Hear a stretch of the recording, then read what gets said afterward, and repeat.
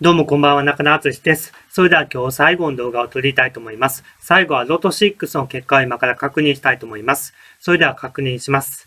ロト6キャリーオーバーが8億出てるってことは、1等該当なしか。うん。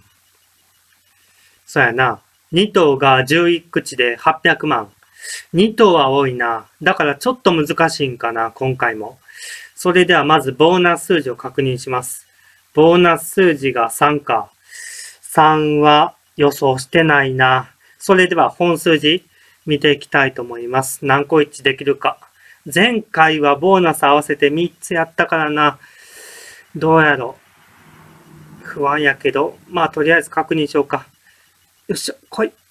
17、17、17ない。18、8もない。30、36、40。今回は全然あかんな。17、18、26、30、36、40だから、いやー、今回はほんと全然あかん。うん。前回は3つ一致したけど、今回は1個も一致してないんちゃうかな。うん、数字離れたな。うん。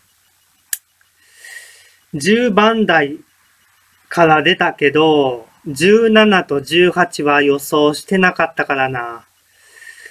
うん。まあ気持ちを切り替えて、また明日からロト6予想したいと思います。それでは今日は、うん、これで終わりたいと思います。よかったらチャンネル登録お願いします。ご視聴いただきありがとうございました。